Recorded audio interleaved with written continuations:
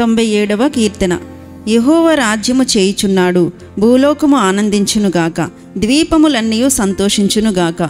మేఘాంధకారములు ఆయన చుట్టూ నుండును నీతి న్యాయములైన సింహాసనమునకు ఆధారము.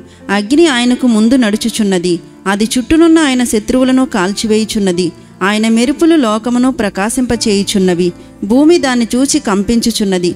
యహోవా సన్నిధిని సర్వలోకనాథుని సన్నిధిని పర్వతములు మైనం వలె కరుగుచున్నవి.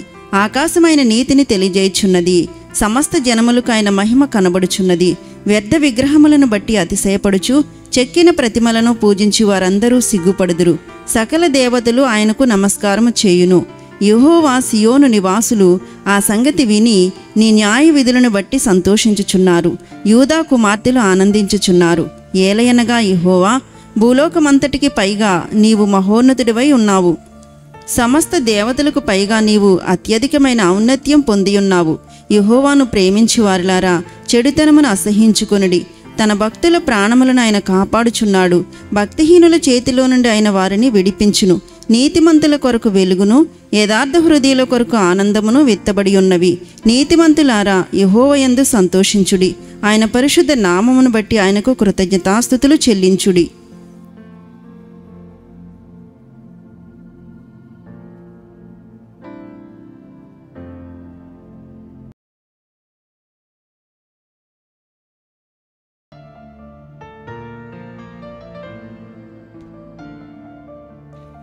సామెతలు ఐదు. నా కుమారుడా నా జ్ఞానోపదేశము ఆలకింపుము. వివేకము గల నా బోధకు చెవియొగ్గుము. అప్పుడు నువ్వు బుద్ధి కలిగి నడుచుకొందువు. తెలివిని బట్టి నీ పెదవులు మాట్లాడును. జారస్త్రీ పెదవుల నుండి తేనికారును దాని నోటి మాటలు నూనె కంటెను నునుపైనవి. దాని వలన కలుగు ఫలము ముసిడి పండంత చేదు. అది రెండంచులు గల కత్తి అంత పదును గలది. దాని నడతలు మరణంనకు దిగుటకు దారితీయును. దాని అడుగులు పాతాళంనకు చక్కగా చేరును. అవి అది జీవ మార్గమును ఏమాత్రమును విచారింపదు. దానికి తెలియకుండానే దాని పాదములు ఇటు అటు తిరుగును. కుమారులారా నా మాట ఆలకింపుడి నేను చెప్పు ఉపదేశము నుండి తొలగికుడి. జారస్త్రీ ఉండు చాయకుపోక నీ మార్గము దానికి దూరంగా చేసుకునుము. దాని ఇంటి వాకిట దగ్గరకు వెళ్ళకుము. వెలిని ఎడల పరులకు నీ యవ్వన బలమును క్రూరులకు నీ జీవితకాలమును ఇచ్చివేతువు. నీ ఆస్తి వలన పరులు తృప్తి పొందుదురు. నీ కష్టార్జితము అన్యులు ఇల్లు చేరును. తుదకు నీ మాంసమును నీ శరీరమును క్షీణించినప్పుడు అయ్యో ఉపదేశము నేను ఎట్లు త్రోసివేసి తిని నా హృదయము గద్దింపు నెట్లు తృణీకరించెను.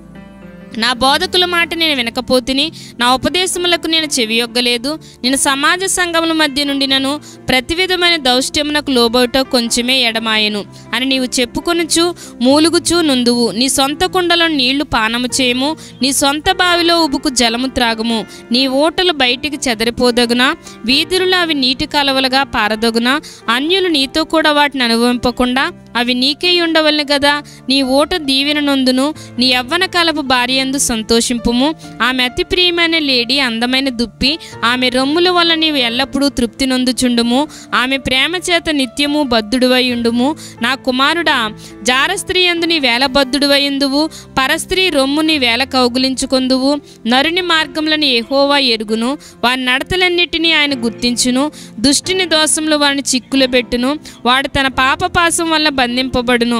శిక్ష లేకయ్యేటి వాడు నాశనమగును. అతి మూర్ఖుడై వాడు త్రోవ తప్పిపోవును.